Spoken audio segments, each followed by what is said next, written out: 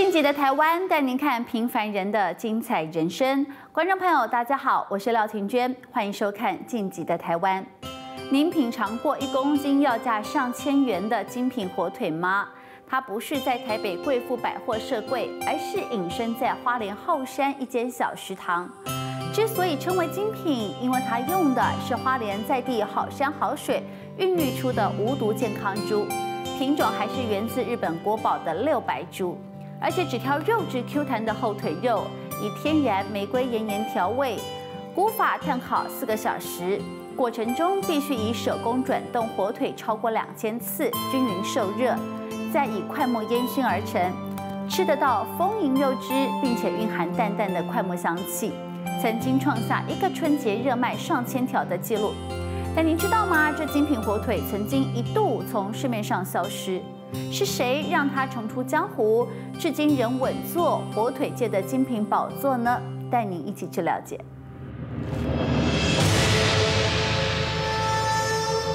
除了调味料之外，全部都是肉，没有加。玉米粉、淀粉类那些东西下去是要充填它体积，成本会降低。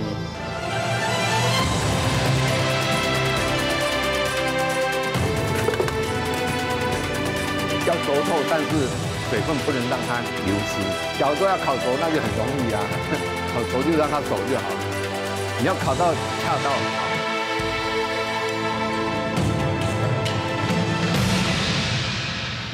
我们以前都是买外面的啦，后来吃过他们的以后，真的明显的不一样，看得到肉的纹路。这个一查就知道这个是很高档的东西，真的。很用心在做，在售价上面我们就是没有呃做折扣。他们说啊价格这么硬啊，哦那你们跟 LV 一样啊，这么硬都不能打折。想要品尝一公斤要价上千元的 LV 级火腿，你要找寻的地方不是台北的贵妇百货，居然是花莲后山的一间小食堂。弟弟，你要吃火腿吗？我另外再切给你，好不好？我们弟弟非常喜欢吃他们家的火腿，他们的火腿吃起来跟人家不一样。然后吃过之后，你就不会想吃其他家。怎么样说不一样？因为就是你吃到肉的感觉，不会粉粉的，然后会吃到那个浓缩的那个肉的汁。对，所以带小朋友来是特别安心。对啊，因为我觉得他们东西就是不会特别添加什么。妈妈可以偷懒一下，孩子一样吃得安心，是因为精品火腿的生产过程七十多年如一日，实实在在。我们就挑猪的后腿肉的部分，其实那种感觉就像吃鸡腿肉啊，鸡腿肉那咬起来它是很有弹性，然后肉质也甜。身为老店第三代，义山遵照阿公时代的古法，选用花莲在地的无毒健康猪，品种源自日本国宝六白猪。而且只挑口感 Q 弹的后腿肉，再细心挖除藏在细节的魔鬼。像这个白色的筋膜，它吃的会很，就是就就咬起来口感不好。要的话就是只取它的肉，那整块肉是可以用的，然后再再去切片。原来精品火腿的做法与众不同，一般将材料搅成泥比较好充填。老店则是切成一片一片，特别保留猪肉本身的纤维。不过，一片一片的猪肉要怎么扎扎实实塞饱肠衣，就是手劲的挑战了。这边的话，其实双手都用力，尤其是右手的虎口，虎口这边要掐得紧，然后控制肉出来的力量。仔细瞧，冲填火腿的时候，一山的手臂就会爆筋。平常可能没什么感觉，每到年节的出货高峰期，一天最少充填上百条火腿。手工这档事啊，可是会让人的手都抬不起来呢。平时就几十条的产量这样，但是过年过节订单比较多的时候，大家做到手都酸啊、发炎，甚至都要去打针。即使累到跑医院，还是坚持要手工，就知道老店对品管有多龟毛。当中用来充填火腿的肠衣，还要求它会呼吸。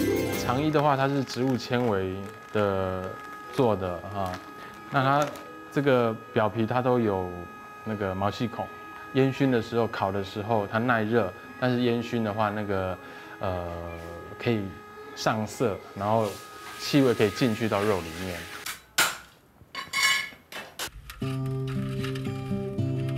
红砖大灶里的木炭正烧得火红，准备好迎接会呼吸的火腿。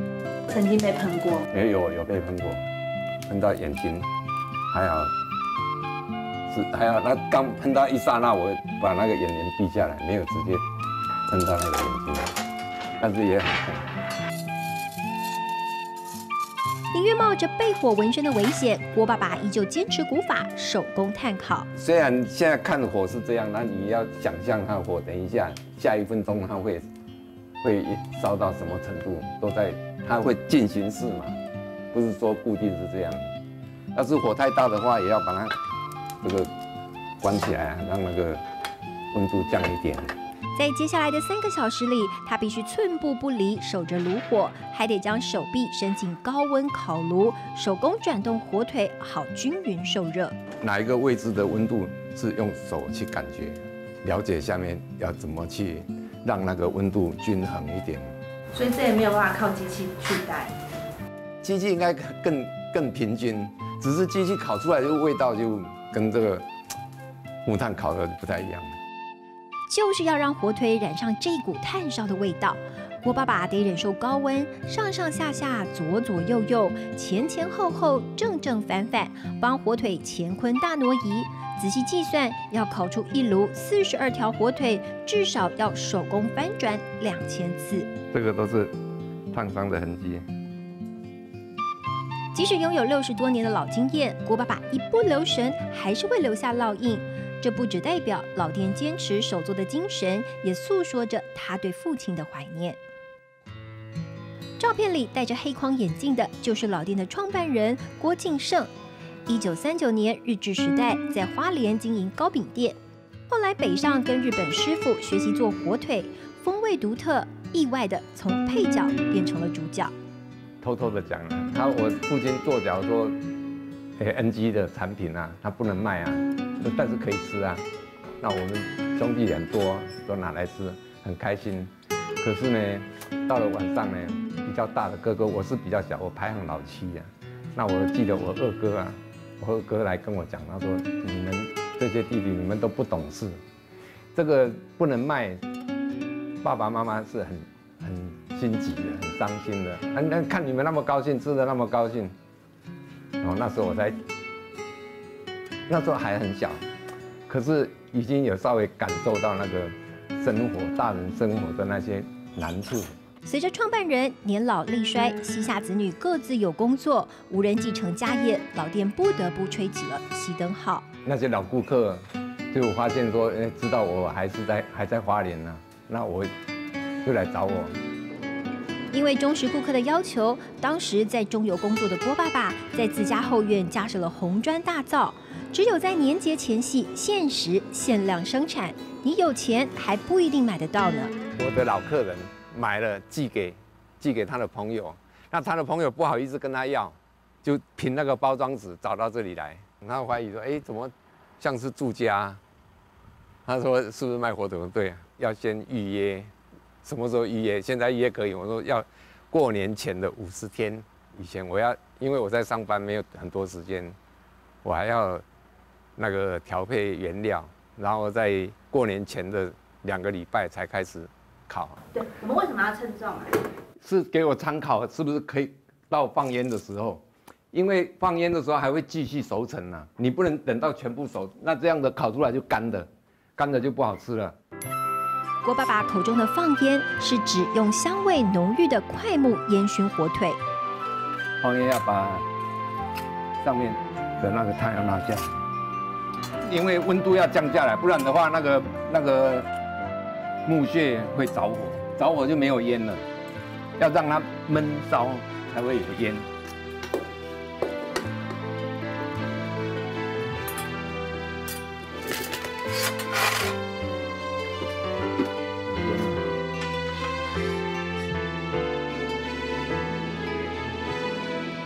阶段是品质的关键，因此长达一个小时的烟熏过程，郭爸爸得眯着眼睛忍受被烟熏的不舒服，一次又一次伸手进入高温烤炉，确认火腿的热度。每一条都很完美，这条马该碎。连烤带熏要花上四个小时，精品火腿才算大功告成。一山赶紧上前帮忙擦拭火腿可能沾上的炭灰，细心呵护的态度很难想象。他对家业一开始其实没有太大兴趣，直到看见阿嬷落寞的神情。民国七十几年之后，就是店收收掉了，花莲的一些老店持续的，就是发光发热，然后做了一些转型，做了一些改变。那我的因为工作关系回来会跟阿嬷提到这些事情。那我觉得从他的一些言谈或眼神里面，我觉得一些落寞。那这是阿公阿嬷他们打拼出来的。那他们也靠了这一家店，他们呃养大了这个七八个小孩这样子。既然决定放弃最爱的新闻工作，重新擦亮老店的招牌，一山很努力。首先，他改变原先家庭工厂的经营模式，仿造百货的精品专柜，帮自家精品火腿开设漂亮门市，交由时尚的服务人员进行销售。当老板的他，则退居幕后当门市。像这个筋啊、油啊、淤血啊、红车啊，这些小细节都要拿掉啊。嗯。然后还要看这个猪肉。有没有新鲜啊？漂不漂亮啊？肉色啊？是不是真的是后腿肉啊？老板注意的细节太多了，比一般我带过的那个还要多。没有疯啊，但是我也不知道为什么，我才我只是讲话而已啊，我也没有凶他们，他们就哭啊。那些美眉就来的几乎每个都哭哎，我是跟她说事情该怎么做，然后我也是好像我没有大声骂，啊有的会认为说那何必这个样子，何必？要求那么细，何必这么龟毛？何必一定要怎么样怎么样怎么样？但是我自己认为说，那如果没有这样，他好像就没有办法去陪衬得上这火腿它本身的精神，因为它在工厂的部分，从原料从猪肉生产出来，它每一个步骤就是很仔细很讲究。好那你对应到门市来，你的服务也好，或是说我们希望门市呃呈现出来的那个样子，我希望要有一点点要求在里头。在一山的谆谆教诲下，当初那些被念到哭的小女生们，现在已经可以独当一面了。一会儿他们是最佳销售员，一会儿又化身品管师。好，比如说十点出好了，大概下午三点才能爆。都没有想过用机器的方式拉冷却就好。其实我觉得好，如果你真的用机器冷却的话，说在肉质口感也差。原来刚出炉的精品火腿不能马上出厂见客，得耐心等上五个小时自然冷却，好确认品质完美。外皮皱的话，刚出来是不会皱的，温度很高不会皱，它要有那个冷风吹到，它就会有这样的类似这样的皱。那你看这个皱褶里面有。有肉汁，每一条里面都有肉汁，这个就是完美的。从备料到贩售，精品火腿的制作过程起码要九个小时。老店费工耗时的成品，直接切片品尝就很美味，吃得到丰盈肉汁蕴含的香气。此外，记者出身的义山还发挥过去的见多识广。创意混搭精品火腿和乳酪蛋糕，你会觉得是好像有点冲突的东西，但是搭起来还蛮合的。每次来这里都还蛮期待，呃，吃到这一道的。那原本老板是要我说买那个比较便宜一点的，因为他觉得做生意用用那个就可以了。可是后来我跟他说，我们还是坚持用原本的单价比较高一点的，因为那比较香，而且它是台湾的，不是大陆进口的。对，那那个老板是说那个这样没探及，因为那个单价太高这样子。难怪我们早餐都没放。对。那我们的火腿比较不一样啊，它的肉汁都还在上面。那如果说呃下去熬煮的话，它就会比较柴一点点，没有味道。呃，那所以说我们会建议是最后再放，要吃的时候再放。随着精品火腿越来越受欢迎，市场不再局限于年节伴手礼。一山为了推广多元吃法，又有了新点子，就是一天只卖三个小时的神秘食堂。因为很多客人一直在问，说火腿怎么吃，那我们就想说，好，那是不是我们因为平常我们早餐也都有用到火腿，自己家里早餐都有吃到火腿，那我们想说，哎，是不是我们就把它变成是一套一套餐，跟客人介绍说。我们在家里使用的方式是这样子。用来搭配精品火腿的食材都是一时之选，有天然红宝石之称的红人土鸡荷包蛋，保健效果高的紫心番薯馒头，还有花莲在地小农生产的蔬果粥。吃过很多次，然后每次都吃不一样的套餐，对。然后我觉得就是它不会说因为套餐的不一样而有哪一些食材是比较弱的，我觉得都很平均。建议老板哈，就说其实他的套餐可以放一块小蛋糕，最后给客人品尝，因为很多客人知道他有火腿，可是没有品尝过他的蛋糕，我觉得是一个很好的形象。那人好好，还帮老板想心。没有，因为我觉得。把他当朋友，而且是好的店，我们就希望他能够长久。最感动人心的就是这一份七十多年来实实在在做生意的态度，难怪值得细细咀嚼、慢慢品味，稳坐火腿界的精品宝座。花若盛开，蝴蝶自来。那人若精彩的话呢，天自安排。日本师傅这样教他，他就教爸爸。爸爸，流传到传到现在，整个的制作过程，我觉得就坚持在那边不要变啊，那让他火腿本身该有散发出来的吸引人的地方，吸引到喜欢他的人。欢迎收看《晋级的台湾》。当山猪遇到巴黎铁塔，会碰撞出什么样的美食火花呢？原来这是一道隐身在花莲泰鲁阁的原住民创意料理。打破一般人认为山猪肉只能炭烤的印象，选用肥瘦均匀、肉质 Q 软的猪肋排，以山胡椒等香料冷藏腌制二十四个小时入味，采先蒸后烤，带出外酥内软的美妙口感。再搭配竹筒饭、部落野菜、小米酒等等原汁原味，吸引了国内外的老饕们专程上山尝鲜。但料理的幕后推手并不是原住民，而是一个热血的汉人。他不止让原住民美食大卖，还翻转了部落原本的困境。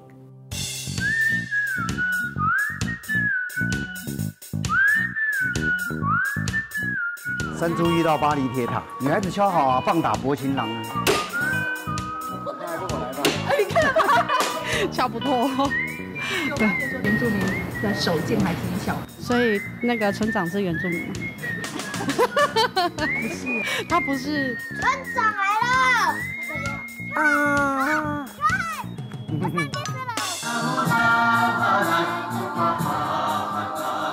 一种归属感，然后很投入了，就不是说我要做秀这样，带有一种好像家长这样的带这些小孩。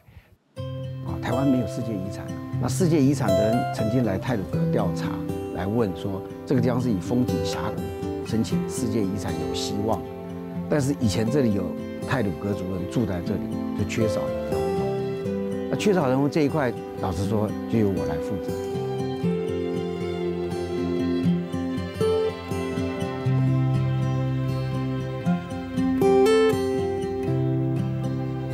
原来美丽的泰鲁格国家公园里还藏着一个桃花源，泰鲁格族语“部落湾”也就是回音的意思。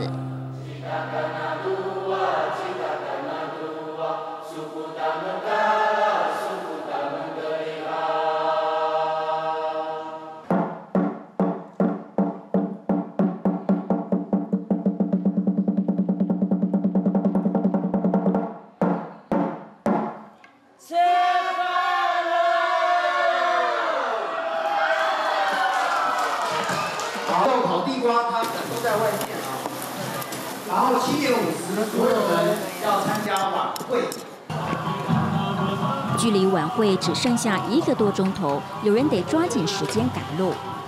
我刚开始表演多辛苦啊，因为员工比较少，以前只有十几个员工的。那员工下班了，今天晚上有个五六间的客人晚上要表演，可是今天晚上当班的哈，他们都学校以前也也没有学啊，那会表演都下班啊，我就再下山开车带他们上来表演，表演完再把他们送下去。那为什么接小朋友？是主要是让他们的父母啊觉得安心，看到村长就安心。在乌罗湾，在乌罗湾，我们是一家人。我们。就像孩子们唱的歌谣《部落湾》，过去真的是泰鲁格族的家园。研究泰鲁格族啊，所以才研究到近代史。当初这个泰鲁格族啊，这边九十七个部落有一个总头目，日本称他为总头目，就就是哈鲁格纳威。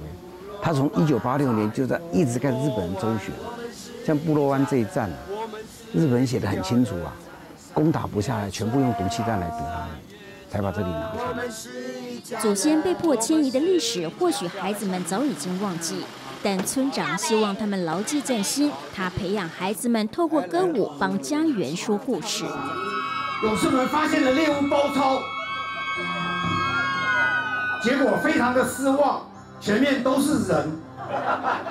虽然舞台表演多少带点娱乐效果，一旦有人超越尺度，不管对象是谁，村长立刻化身强悍的头目。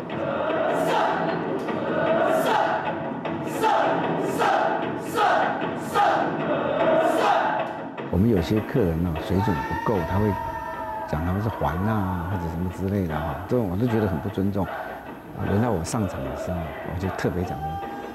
我自己本身没有小孩，这些都是我的孩子啊！我说你们来这里尽量不要讲那种他们比较不喜欢。其实我心里有数，如果你要切割，你现在就走，我不会收你钱啊！你最好是走这样的，我觉得你太不尊重我。为了保护部落的孩子，村长不惜得罪顾客，很难想象他的真实身份居然是饭店老板。服务业不是应该以客为尊吗？整个晚会完了以后，客人都围过来，其他客人啊，村长，我们全部支持你，所以我也要让小孩知道说，村长会站在你们这里，我会保护你们的。择善固执的态度，让他得到当时大多数顾客的支持，还成功打造国际知名的原住民主题饭店。比亚数是我们泰鲁格族的问候语，就是你好吗的意思。因为这个问候语是明天早上早餐的通关密语。如果你回答不出来，当然就不能吃啊，因为会怀疑你到底是不是我们的房客。可是如果你明天真的回答不出来，可是你很想吃怎么办？还有一个方法，就是报今天入住的房号。这里哈，你不来真的很可惜。就是你躺在那个草地上，只会票价了，已经。来到这里不做这一件事，你也会觉得很可惜。对着嘴巴这样，哎，发出声音要发出声音哈。好吃又好玩的原住民创意料理，名称更逗趣，叫做“当山猪遇到巴黎铁塔”。山猪指的是猪肋排，这个不难了解。那么巴黎铁塔呢？有这些东西会让你很印象很深刻。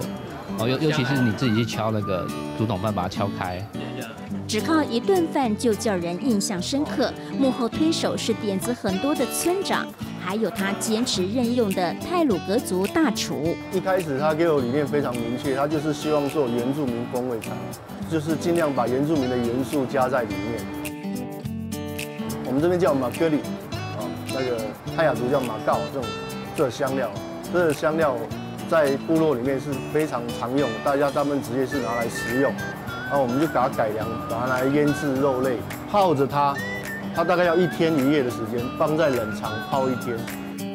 先蒸后烤，帮猪肋排穿上亮丽的焦糖色外衣，让口感外酥内软，再搭配精致摆盘，打破不少人对原住民料理的印象。印象中可能就山猪肉吧。然后就是一大盘一大盘很对对，所以他做的比较精致，比较特别，很有特色。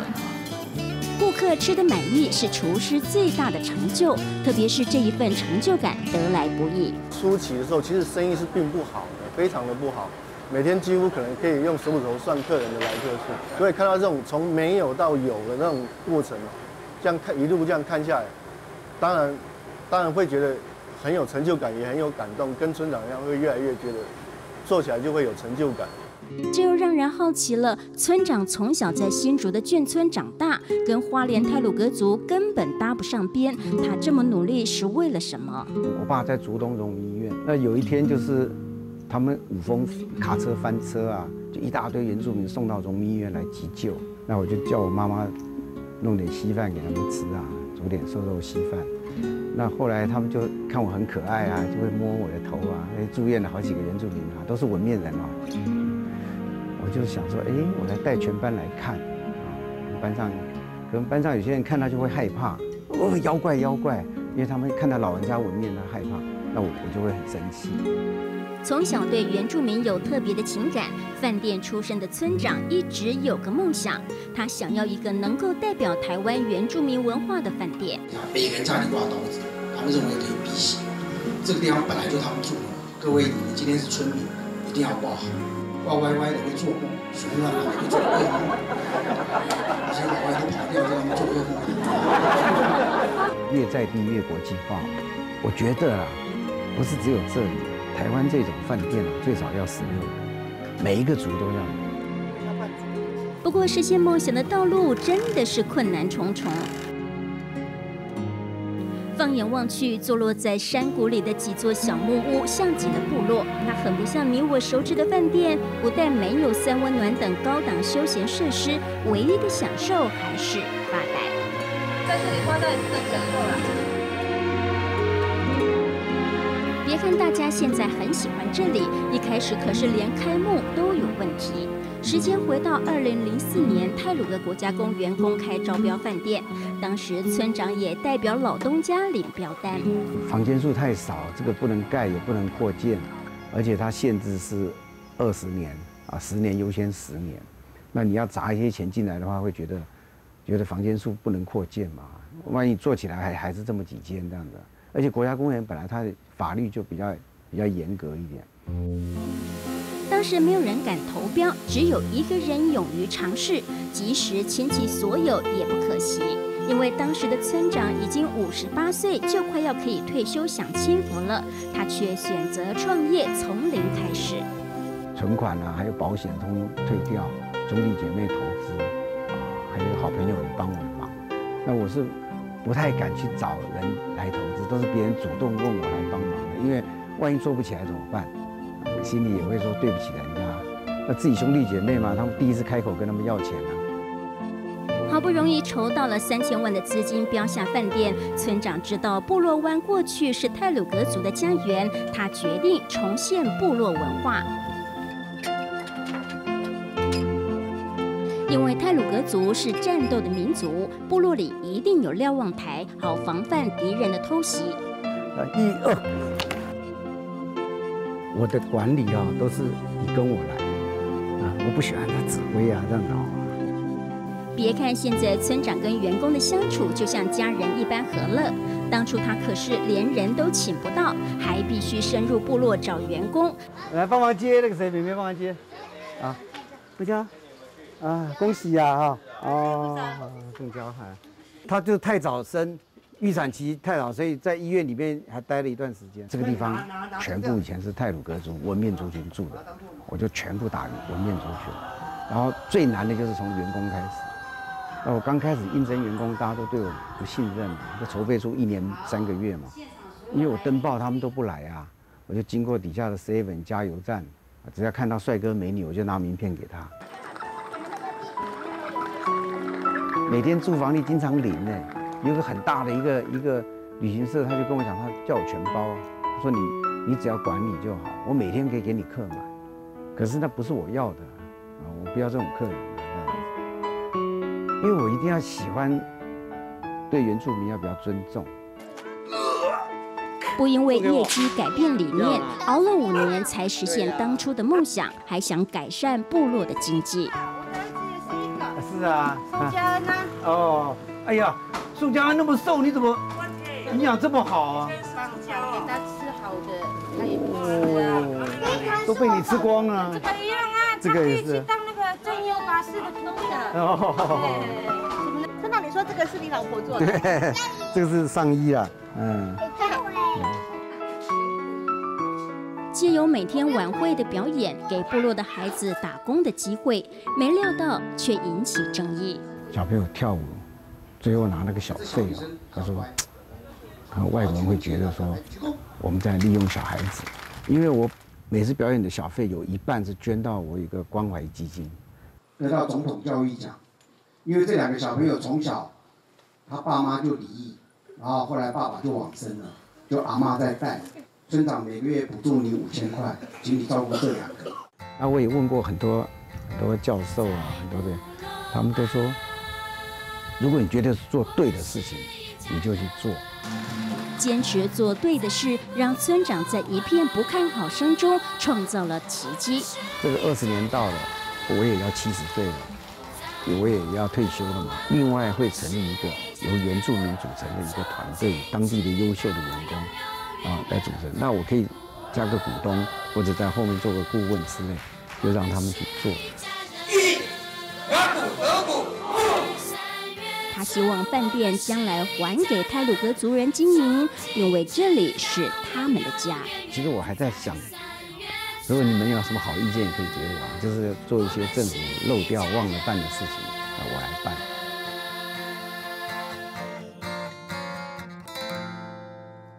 收看《晋级的台湾》。成立才七年的花莲国风国中跆拳道队，至今已经踢出国内外比赛将近四百面的金牌，被誉为金牌制造机。选手中至少有两名选手有机会挑战二零二零的奥运，分别是青奥国手王晨宇，二零一四年创下世界少年跆拳道台湾第一金，以及二零一五年总统教育奖的陈芷蝶。创造这些奇迹的是两位年轻教练陈廖霞跟任凤仪，他们为了让家境贫困的选手们能够专心练习，都让他们免费住到家里来，好就近照顾。当中，他们第一个带回家的选手是陈芷蝶，出身单亲家庭的他，从小是由外婆带大的，家里经济不好，让他对自己很没有自信，直到跟着两位教练学习跆拳道，才。变了他的世界。两段的时候就是少快一点的时候，两段好一点，你听得懂意思吗？所以，他抓你的脚，能看到？好，准备。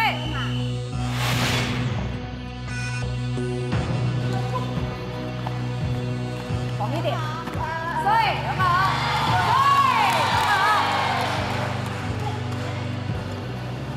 我觉得最惊讶的是。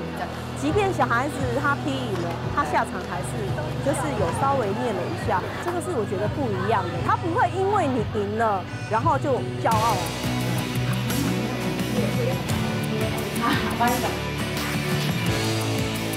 有几个教练把所有的收入真的都来养这些孩子，他们没有一句怨言，就一直在栽培他们，你如果问我。我到底还要不要这样做？那我觉得教育的意义到底是什么？只要他能够坚持跆拳道的态度，我就愿意去吧。走走走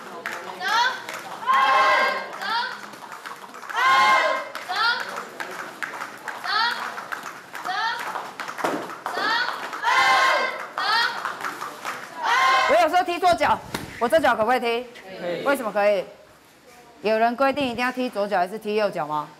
踢吧。就算卸下了国手身份，陈廖霞依旧不减对跆拳道的热爱。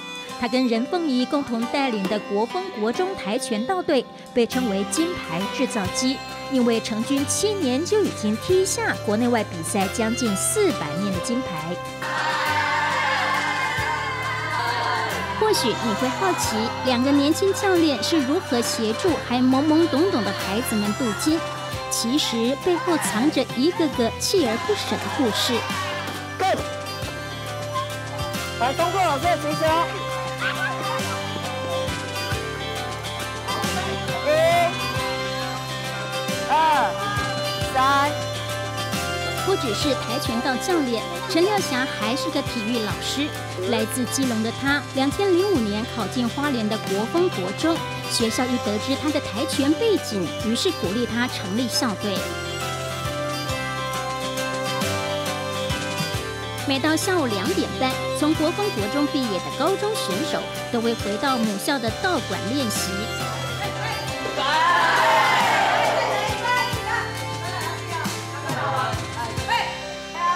别看现在选手众多，七年前刚招生的情景，只能用小猫两三只来形容。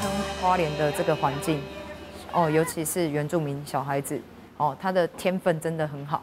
可他不知道，第一届报名的时候其实真的很惨，就不知道原来花花莲的跆拳道这么不兴盛，这样就来报名的小孩子总共只有四个，然后四个里面又有两个小孩子其实练到一半就有一点点可能坚持不下去，所以练到后来就只剩下两个小孩子，然后对两个教练，所以几乎是那个对 one by one 的练跆拳道，我没想到原来跆拳道可以一对一，你知道吗？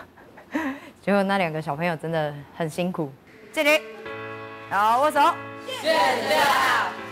然后我们就是这样每天陪他们，好练完之后陪他们吃饭，哦，因为怕他长不高，好要陪他们读书，怕他们功课不好。在三年后，他们拿下了一个全国冠军，然后全国第二名，然后毕业不到一个月内又选上了世锦赛的国手。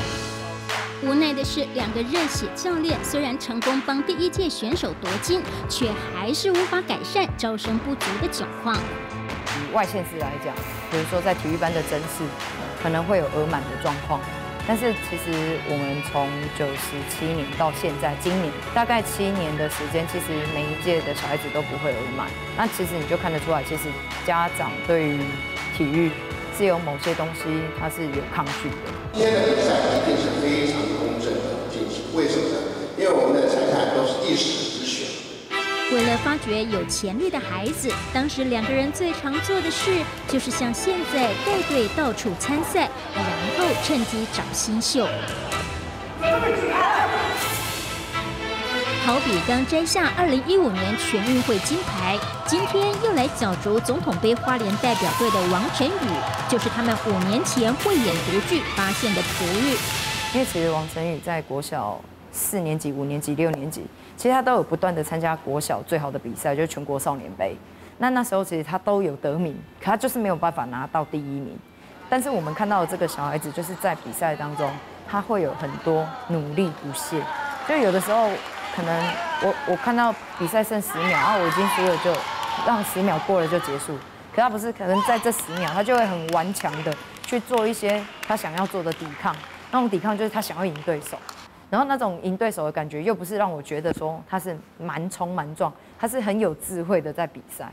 啊，其实，在国小阶段能够做到这些这么细微的点的选手，其实也不容易。调整一下，你打太慢了哦。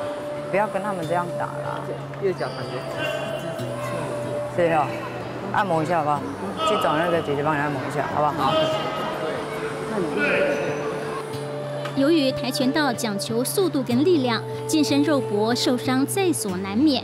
伟人父母怎么会不心疼？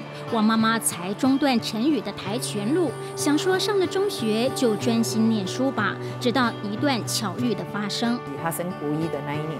就刚好在一次的新生训练当中，遇到了陈宇还有他的妈妈，他就呃叫了王晨宇，然后叫我问我说我是不是王妈妈这样，我说是，然后他可以把陈宇的，就是历年来的成绩，就是一年一年的，就是都记住他是什么时候比了第一名，什么时候比了第二名、第三名这样，那我就觉得说，对于一个我不认识的教练。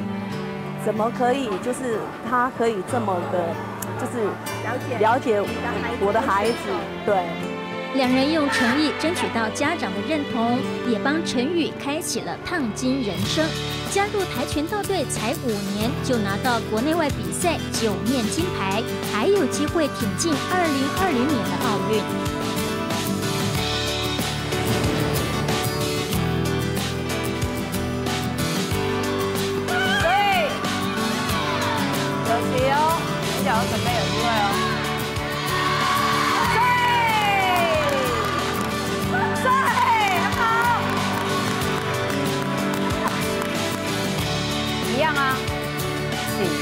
他要踩你就先下。招招犀利，他是陈芷蝶，同样因为跆拳道看见了不一样的未来。不光拥有国内外比赛十面金牌，还获选二零一五年总统教育奖。不过，这样的荣耀却是芷蝶从来没有想过的。因为出身单亲家庭，妈妈出外工作，从小由外婆带大。家里经济情况不好，解困苦的时候房子被查封，晚上得窝在车子里面过夜，造成他的个性沉默。还好曾经是他小学班导的任凤仪发现了他的运动才能。下了课我就会到走廊上去看一看我的学生啊在做什么啊，你就看到他在那个场上跑来跑去，然后跑超快的哦。就是啊，然后都跟男生追来追去，这样子跑真的很快。然后可是他只要一对到长辈的时候，其实他就是会开始比较没有自信。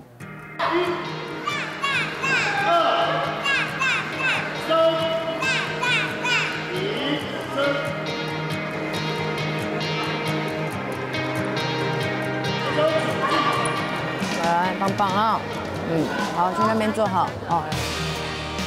在今天的比赛中，陈亮霞跟任凤仪领军的跆拳道队又有了亮眼的成绩，一共进账四十七面金牌。一、二、三。那明天，教练在花莲市的一家火车头餐厅，准备帮大家庆功宴，不知道大家有没有这个心，想要一起来？有，有。张倩宇，你这次桌球拿了金牌，然后跆拳道你又拿金牌，双金。我妈妈掌声鼓励一下好不好？太厉害了，金牌王！太优秀了，太优秀了。庆功宴上，无论是选手、教练还是家长，大家都抛下了比赛时的紧绷情绪，开心的用餐。但是有一个人闷闷不乐。阿没来，叫阿妈来，因为阿妈刚好没有在我们的群组里面。阿妈，阿妈，哎，这边这边。他，你知道刚刚怎样吗？他刚刚就吼，因为你也没有来，然后就是都不想吃东西，然后他就突然我就跟说你到底怎么了？你现在比完赛可以放松怎样？他说教练，我可以打电话给阿妈吗？原来纸蝶想念从小拉拔他长大的外婆。好啦，陈纸蝶，赶快来，这样可以稍微开心一点吗？因为严教练的启蒙，纸蝶从小学三年级接触跆拳道就崭露头角，还屡屡勇夺金牌。但是伴随出现的庞大培育经费，已经不是家里能够负荷。教练也提出说，是不是呃让他住在那里，让他呃专心的。专心的去练跆拳，然后呃照顾他，这样等于说他帮助了这个孩子，帮助了我们。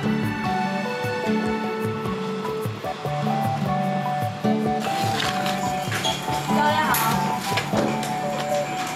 第一个带回家做的就是紫蝶啦。我们的想法是，如果栽培他，是希望他有目标，以后成为社会的人上人，不见得一定要让他成为什么国手，什么国手。那这小孩子他。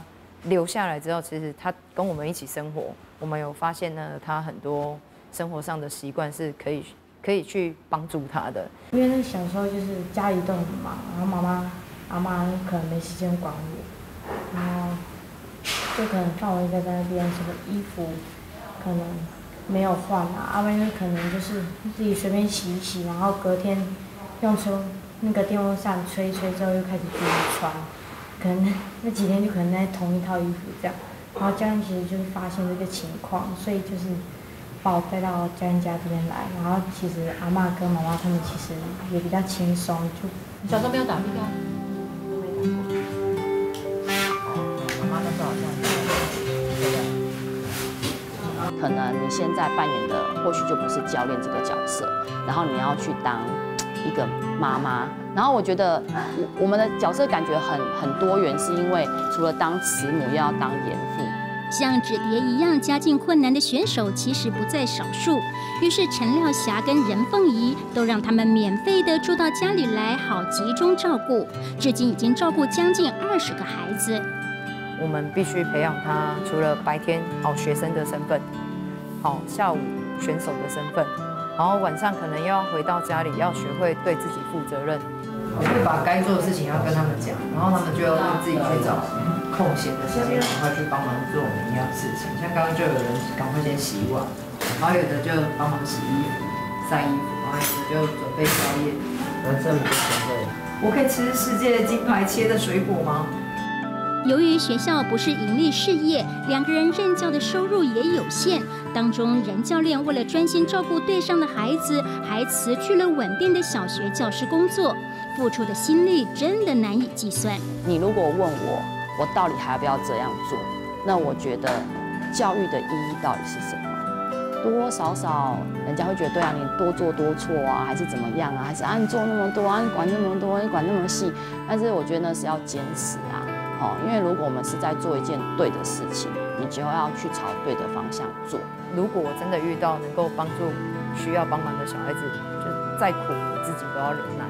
基本上，如果该花的，比如说这个小孩子有一件队服，那每个小孩子都会有，我绝对不会让有一个小孩子没有。对啊，我觉得就不会再去讲钱这个问题，这样，嗯。好，注意不想去计算付出多少，是因为他们深信一个真理：爱能潜移默化。练跆拳道之后，可能就个性在很大很大改变了，就可能比较大方、大方一点，然后就变得比较有自信，然后就以前也不可能像这样对着录影机这样一直这样讲讲很多。很希望的是，小孩子在这个过程当中，我希望他能够有梦想，去挑战他的极限。那极限我不知道他能做到多好，就像陈宇他们有办法拿到青奥的国手，子蝶有办法当选总统教育奖，好，他们简直都在做一些大家的梦想。那我希望不是只有他们。为了跆拳道的梦想而努力，而是他们可以用这些态度去影响队上的每一位同学。你有没有最崇拜谁？嗯，这真的？为什么？嗯，因为很帅吗？世界冠军呢？嗯。第一个是什么？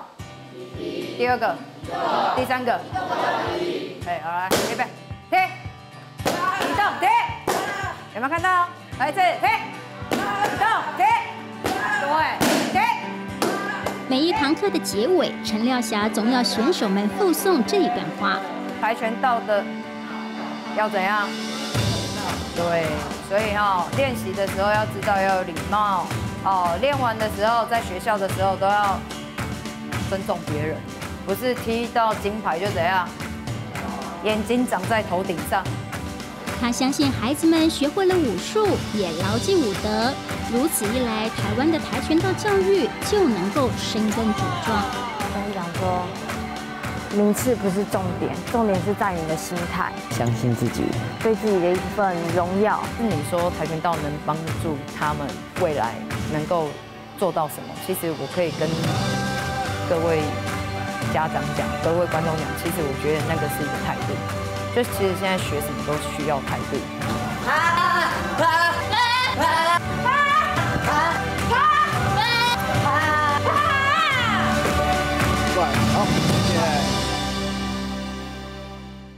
今天我们看到了隐藏在花莲后山的一个个感人故事，他们不因为城乡差距而放弃努力，反而更积极、更认真的迎向挑战。您是否得到些启发呢？这些都是平凡人最不平凡的精彩人生。进阶台湾，感谢今天的收看，我是廖婷娟，我们下次再会了。